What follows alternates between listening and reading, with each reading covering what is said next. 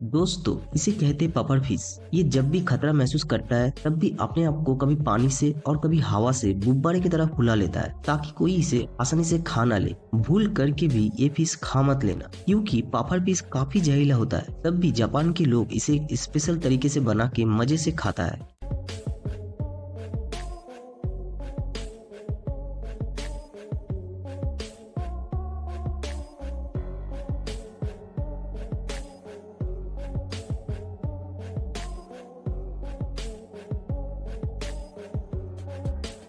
इसे कहा जाता है आर्चर फ़िश। इसके नाम इसलिए आर्चर है कि ये पानी के फिचकारी से पानी के ऊपर रहने वाले कीड़े मकोड़ों को आसानी से पानी में गिरा देता है। उसके बाद सफाचट